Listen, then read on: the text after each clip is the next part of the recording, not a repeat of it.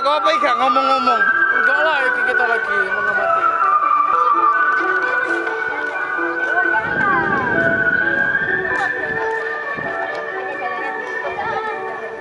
Uh...